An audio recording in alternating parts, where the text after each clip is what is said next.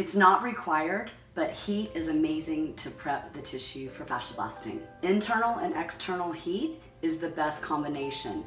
Internal is any type of cardio, and external is something awesome like my sauna or a hot day. You'll want to use the fascia blaster on bare skin with oil. I recommend mine, the blaster oil, because it has a fat burner in it.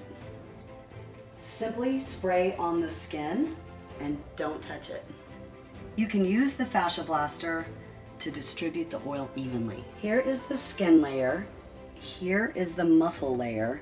The fascia lies in between and you'll want to use light and brisk movements, particularly for beginners. As the tissue begins to open up, you can go harder as tolerated over time.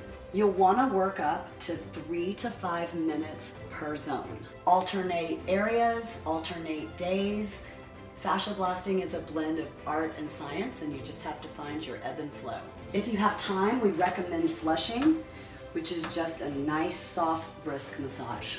Then we finish with the amazing After Blaster cream, which tightens the skin and has arnica in case you bruise. And that's the 101 of fascia blasting.